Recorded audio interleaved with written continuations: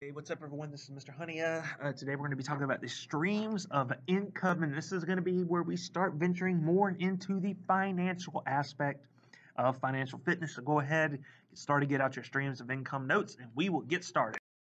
The journal entry for today is go to Google, search the seven streams of income of most millionaires. There should be an article from LinkedIn. Give it a little read, and then write in your journal some of your thoughts about it. What do you think about that? So that's what you're going to do uh, for your journal entry today, and then we're going to get started with your notes. So, why do we need multiple streams of income? Well, first off, things cost money, and oftentimes we uh, want to have multiple streams of income because we want to be able to handle um, finances by ourselves. Along with that, we all many of us, I would assume, want uh, have to have financial success. And then, if you have any other ideas as to why um, we would have multiple streams of income, just write that down. Think about that. There are considered to be about seven streams of income that most people should have within their lifetime, and it's important to understand the different types that you have. So, the first one we have is earned income, which is money you make at your job. JOB stands for just over broke. All right, that's what it means. In other words, you are making money on someone else's job, on someone else's um, watch. In other words, someone typically watches over you. They control your pay and how much you earn. And, you know, it's great to have that. It's great to make some money uh, at a job, but in the way of you are literally limited to how much that person pays you or the stipulations they set that allow you to make that money. So, um, a lot of times people get multiple jobs to make more money, but at the end of the day, you can only make as much as that person is willing to pay. Now, another uh, area of streams of income is profit, which is money earned from selling something at a higher price than what it costs. So, for example, you may end up buying a pair of shoes. Maybe you end up buying um, clothing or end up buying something to where you can uh, sell a service that literally cost less to produce or cost less to buy than it is what you can sell it for. And a lot of times people have made several amounts of dollars um, using this method of maintaining and getting profit, like reselling and things of that nature.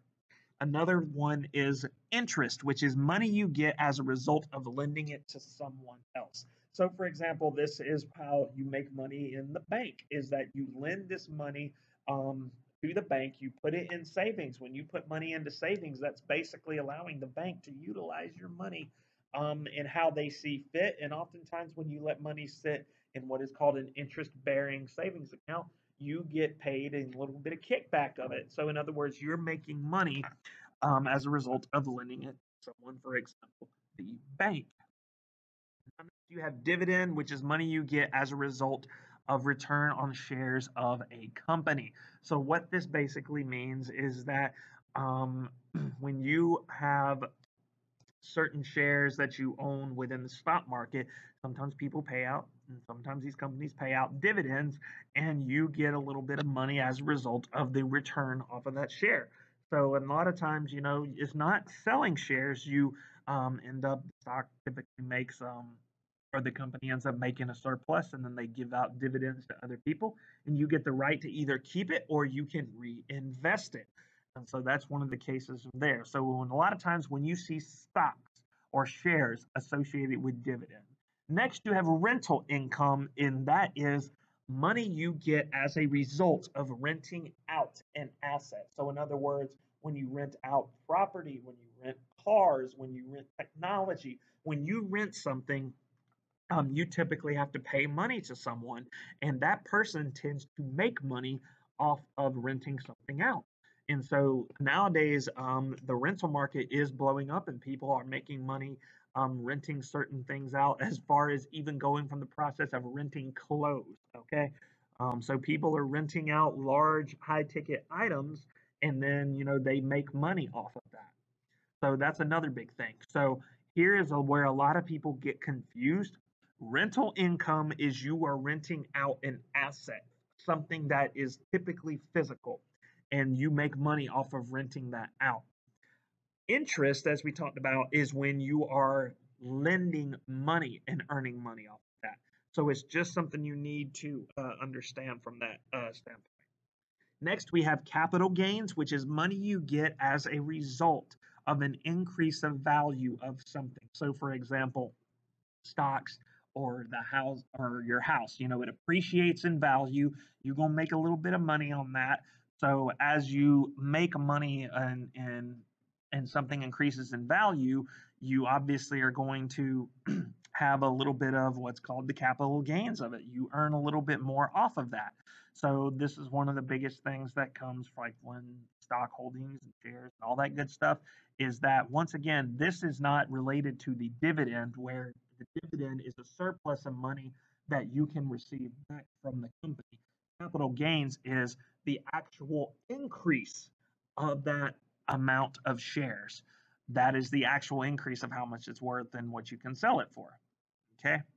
And then next we have royalties, which is money you get as a result of letting someone use your ideas, your product, or your processes. So, for example, I've talked about this before in many of my classes. When you have, for example, if y'all remember that song uh, Panda by Desiigner, um, a lot of people got really upset when that song blew up because it was like at one point the number one song in the country, made millions of dollars. All right and a lot of people did not realize this, is that the beat, when he bought that beat to make that song, he bought it for $200. And a lot of people got really upset because they're like, yo, this producer produced this beat. This guy's making millions of dollars, and this producer's only got like $200. That's not fair. You know, how could he do that? That's just terrible. Well, what a lot of people don't realize is that in many cases, some of that millions of dollars actually could get kicked back to the producer because of royalties. So, for example, a small percentage of that could go back to the producer because, once again, it's money that as a result of someone using your ideas, your product, or processes. In order to for Desiigner to make Panda, he ended up using um, you know, this guy's beat, which was his product. And you know, while Desiigner obviously would make the bulk of the money and the record company would make the bulk of the money, the producer probably gets a small little kickback from using that. Um, this is also big within commercials. So if you are watching a commercial and you hear a song that is very popular in the background, chances are the artist which created that song and the record company which owns that song gets to collect royalty check from that. And you know, if your song is really popular and gets used everywhere, a lot of times those royalty checks can be very, very lucrative. Um, you can't talk income without talking about this guy. This is Shaquille O'Neal. Obviously, he um, makes the bulk of it. Dr. O'Neal's streams. Like, if you think about Dr. O'Neal, and yes, he is a doctor, you know, the guy has his own basketball career. He's had celebrity endorsements with Gold Bond, Fruity Pebbles, and Icy Hot. He is invested in many different things, Onions Pretzels, so many things he's invested in. Uh, he had a movie deal with Kazam. He owns several amounts of real estate.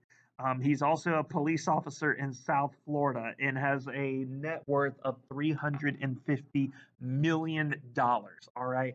And net worth, a lot of people think that when they see net worth, that is the amount of money that they have sitting in the bank. And that's not necessarily the case.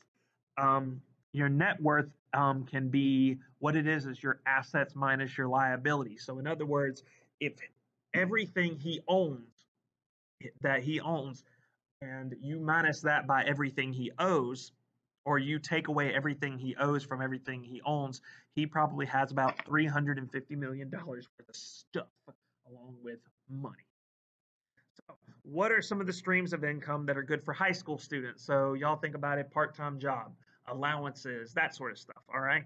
So this is how you guys can make your money. So, another big thing that you want to think about when you think about this is you want to figure out your projected monthly income. And in order to calculate your projected monthly income, you want to list all of the streams that you have. Then you want to either make the amount that you make per hour, and then for the hour, calculate the amount you make per week, and then multiply that by four, and then add all the numbers together. Now, this can be really, really confusing if you're not super, super math minded.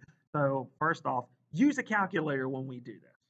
So for example, there is a lot of times that you have to look at certain things, and most of us work in things like for. So let's say, for instance, you have the stream, the amount per hour, and then the amount per week, i.e., times 20 hours. So, so let's say, for instance, you have a part-time job.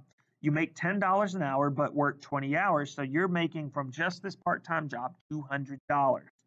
So you also get an allowance from your parents. And let's say that's per week. So, or let's say you get an allowance per parent. So obviously that's not um, per, excuse me, that is not a per hour thing. So obviously that could be like if your parents give you $20 a week, well then you have that $20 per week. So then when you add that up, that is 220 per week and then you multiply that by 4. All right? And you can write down this process because obviously it's going to be something that you want to have that you are prepared to use calculating the projected monthly income stream for a salary. Now, salary is typically the amount you make per year, and the biggest thing to do is start with your salary, divide it by 12, and that's your projected monthly gross income. So your salary, let's say for instance you make 60k a year, divide it by 12, that's bringing in about 5,000 a month. Let's say you make 28k per year. That means that you would divide that by 12 and you're making about 2,000 $333.33. All right, so you this is your gross. So this isn't with taxes, this isn't with deductions, but it is one of those things that we want to get settled in the mindset of thinking that you want to be able to calculate this. So for your assignment, you're going to click on the assignment streams of income and you're going to complete this assignment and then finish any work that you have. If you have any questions, let me know and I will do my best to help you. But this is going to be basic um, from the standpoint of calculating your streams of income. So look back into, for example, calculating the monthly salary or calculating the month the monthly amount you make based off salary and look into calculating the amount that you make based off per hour along with multiple streams of income. So at this point, you guys go ahead, get started, and make it happen.